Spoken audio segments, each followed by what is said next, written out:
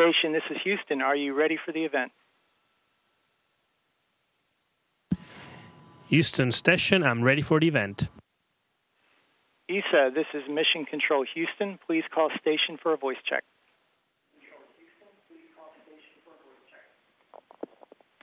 Station, this is Isa Jules Grancy at ESA ESRIN in Rome. We're here with uh, ANSA, Il Messaggero, Wired, and Azitivu.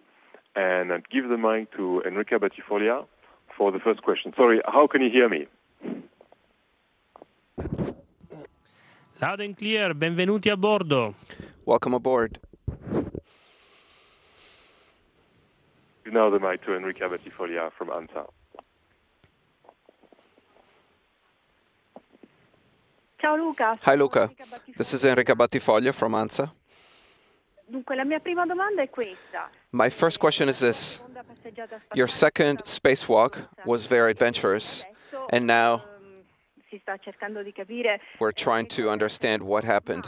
But if you were to have the uh, go ahead for la tua passeggiata, che resuming a spacewalk, what would you what would you do now? Ciao Enrica. Hi Enrica, benvenuto a bordo. welcome aboard. Eh, sì, in questo momento siamo ancora Yes, right now we are still in eh, the uh, troubleshooting eh, phase. We have eliminated a lot of the uh, possible sources of cooling fluid that came into the helmet. So we're proceeding very well. Uh, we're proceeding very well. Siamo, siamo prontissimi Chris and I are very ready eh, to resume where we left off. We have all the equipment ready. quindi nel momento in cui ci Therefore, as soon as we receive the okay to continue where we left off, we are ready to resume reconfigure the airlock. The noi spacesuiter is already assembled. We only have to collect from around the station all the various components that we took out the first time that we uh, stowed back in after the interruption. And after that, after a few days, we would be able to go out again, and we would be very happy to be able to, to do so. Well, la mia seconda domanda è un po' my second question is a little eh, lighter. I wanted to ask you avuto già occasione if you already had the occasion to bordo insieme ai tuoi colleghi. try Italian food on station together with your colleagues. Allora, non solo, non solo Well, ho già provato, not only have I already tried it, è anche finito but it's already run out because when we eh, muovere i- tutti finished. gli elementi del, moving all the elements, all the materials from dall'ATV che è arrivato from ATV, Einstein. Abbiamo- quando Albert Einstein, when we took all the eh, materials inside, I was in charge of, of moving eh, per cui ho voluto this equipment called Loadmaster. So I wanted to thank the, uh, crew by uh, offering an Italian dinner. So practically, sei, io ho- ho in that occasion, there were six of us. I eh, offered a first course, a second course. Ho- ho utilizzato So I utilized sorta di cibo italiano. almost my entire ration of Italian food. Fortunately, there's still a little bit left that I'm going to show you. I still have one lasagna. magari l'avrò, una domenica per Perhaps I'll have it on a Sunday so that I can remind myself how to eat in Italy on Sunday. And then I still have a tiramisu. Mi è rimasto un tiramisù che però non, non I still have a sicuro di poter tiramisu that I'm not sure I'm going to be able to eat because Karen is really uh, enamored of it. So- lo- lo do a lei visto che le So perhaps I will give it to her since she liked it so much.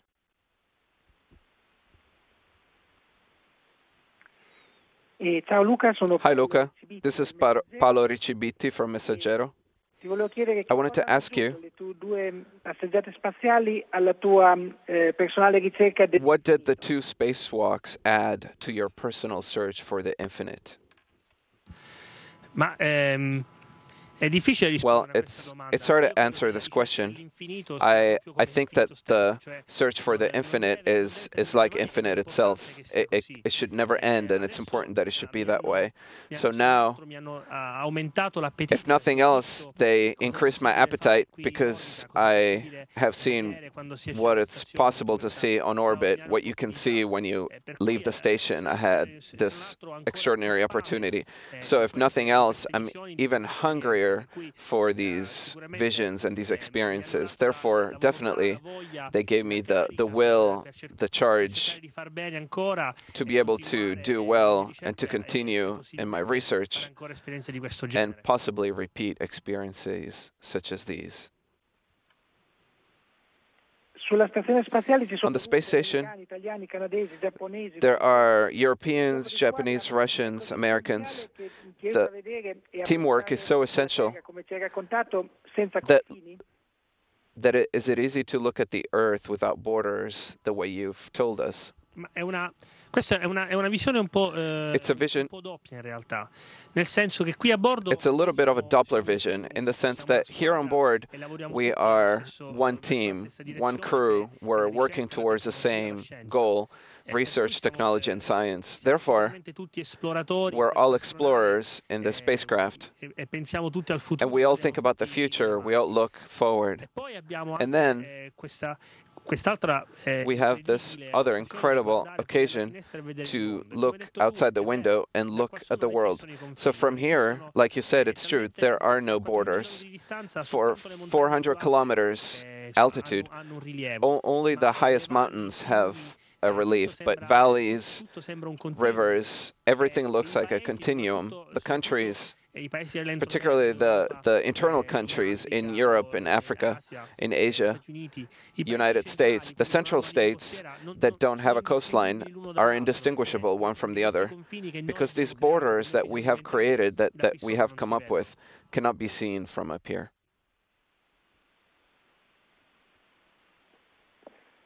Ciao Luca, sono Hi Luca. Iannaccone di Wired. Sandro Iannaccone from Wired.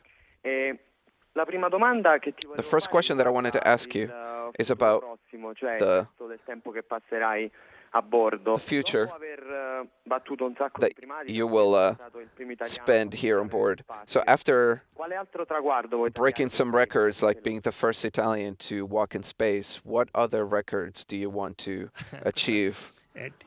while you're up there. Thank you for your question. Thank you for giving me a record. I, I'm not here to break any records. We are we're not here looking for the Guinness or for an honorary mention. We're here to work. So I would say that it's not important to be the first, the last. It's important to be someone who has done a good work, and I hope to be able to be in that category. Then, obviously, here on station, for me, everything is a first time. So in, in a little while, I will see the HTV, the, the Japanese spacecraft, which will arrive this week, and I will see it, a grapple for the first time. I will not be the main operator, but hopefully, if there will be other occasions, I would like to be able to, to execute a grapple maneuver. It would be the first time for a European, but simply to be able to, to have this experience, I think it would be important to have this ability. And then for the future, like you said, future is open. I, I'm 36. So, I, I still expect many possibilities, a lot of new things. For the months that I have left here, I would like to be able to continue to have a, a good experience, a positive experience, like I have so far, and then to continue to perform my job well. Infatti, eh, la seconda domanda era Yes, proprio in fact, the, remoto. the second question was for the future further down the line. For all the uh, ambitious missions, La conquista di Marte, such as the conquest, conquest of Mars costruzione di un'astronave che catturi or building an astro- uh, a spacecraft that will uh, maneuver asteroids, if you were to choose, which one would you like to participate in and in what role?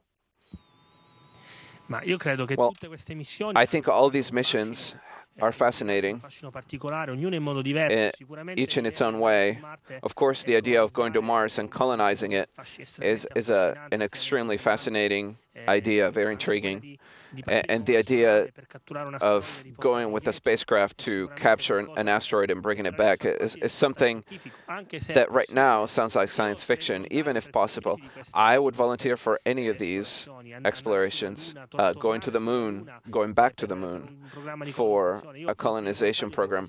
I would volunteer for any of è il mio these because this is my job. I am an astronaut, eh, so a alla, alla fine eh, quello, at the end of the day, what I want to do is to support the program. There are international agencies like the Italian Space Agency, which has a policy that creates ben precisa, per cui il mio lavoro very precise. So my job is to support that policy with the uh, Italian Space Agency and the European Space Agency. But in reality, the the space agency all are working together. So, so in the end, I will follow what the world agencies will decide is the most important and direct way to develop, and I will be happy to be on board of any spacecraft. Ciao Luca. Hi Luca. Manuela Proietti di Ma- Manuela Proietti from ASI TV.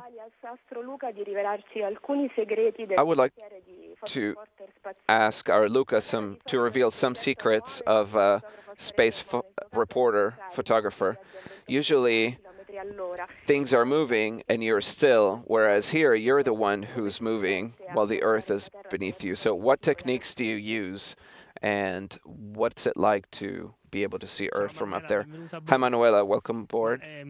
La cosa, la cosa interessante, secondo me, the interesting thing, in my opinion, is that I don't feel like a photo reporter and I don't feel like I'm particularly good either. On Earth, I don't have a lot of experience with uh, video and photography equipment. So I'm discovering this wonderful hobby and this fantastic opportunity to be able to photograph such as such a beautiful subject as the Earth which is always perfect, always different, and yet, eh, in a manner of speaking, always in front of us, with some details that we cannot see the first time around. I'm very lucky because here on station we have some fantastic equipment uh, at every astronaut's disposal.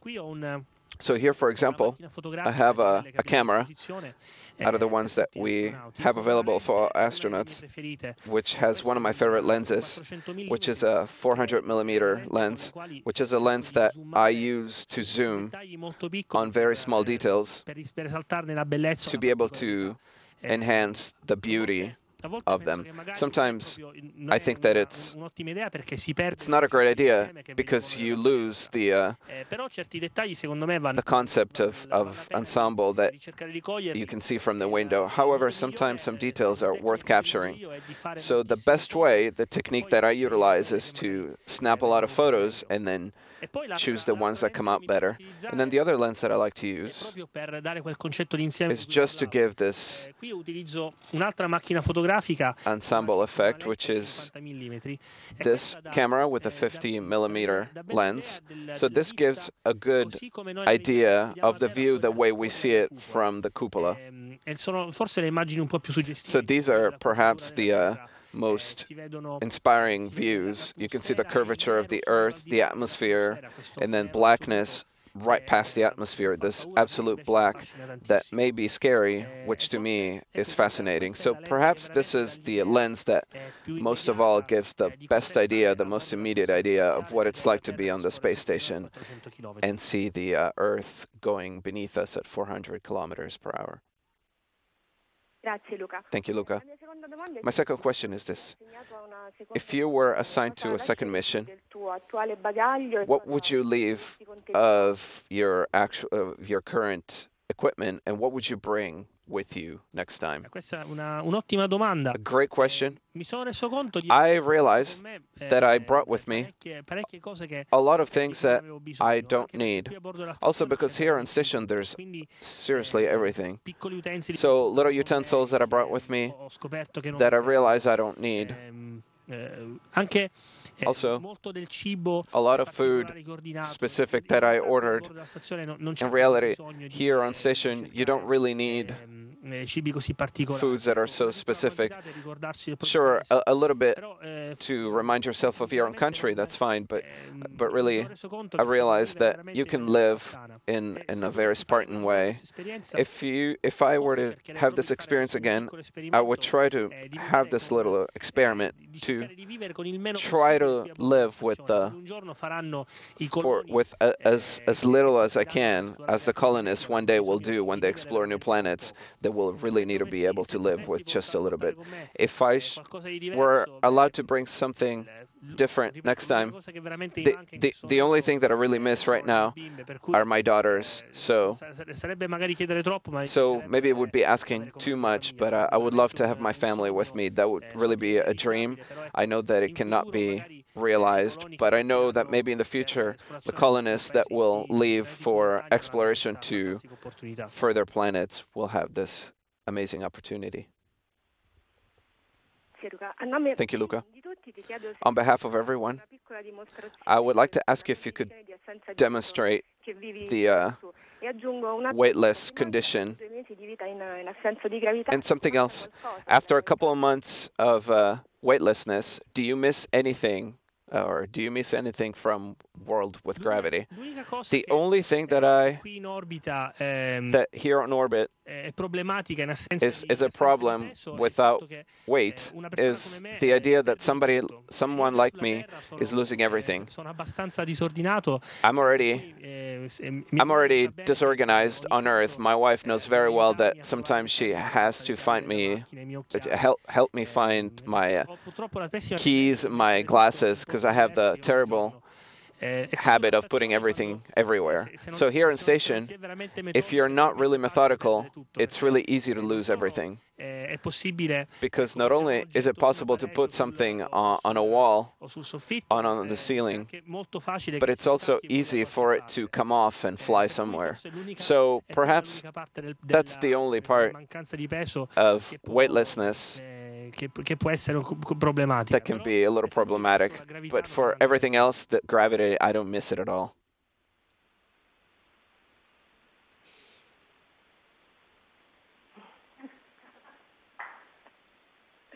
Sta tornando Enrica. Enrica is coming back. Ciao di nuovo Luca. Hi again, Luca. Eh, in a little bit on a space station with a Japanese spacecraft. A new colleague will arrive, a little particular, a little robot. If I'm not mistaken, there's another one, an American robot on board.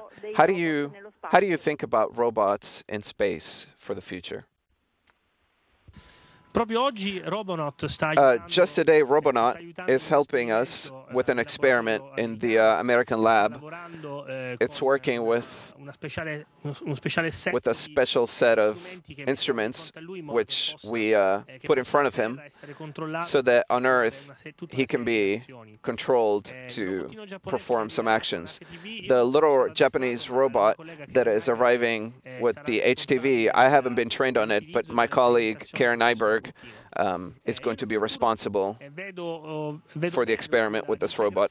For the future, I see very well integration between robots and men, uh, particularly robots, perhaps not humanoid, but like rovers that can be independent but also controlled by spacecraft to allow a more safe environment before landing. So I think this integration is already ongoing and it will be indispensable for the future.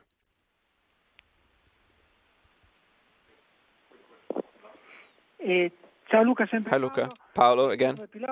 You're a pilot, a test pilot, so you're used to flying at twice the speed of sound. So, but with spacewalks, you're going at 23 times the speed of sound. So, what, what sensations does that give you? Well, they're completely different emotions. The majority of my of my career, I've flown on planes, on, on fighter planes at, at low altitude. So flying at low altitude, very low altitude, the, the sensation of speed is extremely strong. It's something that it gives you a, a huge adrenaline shot and it's an exhilarating sensation. Here, outside the station, it, it's a completely different world. Uno status mentale It's a mental status. It's completely different. The risks are different. La, la necessità di, di pensare e ragionare. The, the necessity of, of thinking and reasoning has completely different times than flying at high speed. So they're, they're emotions that I set aside that I can then use in, in other similar occasions. But for an extravehicular activity, you don't perceive this, this sensation of speed unless you look down on Earth running by you. The only sensation is, is that of feeling like you're falling in. Honestly, I didn't feel it. I, I felt, well, from the beginning, but with respect to the space station, an astronaut is completely still. You're moving with the uh, space station. So, two different completely different worlds. Thank you, station. That concludes the event.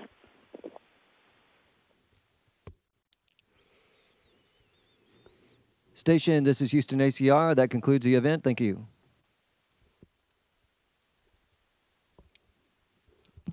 Thank you.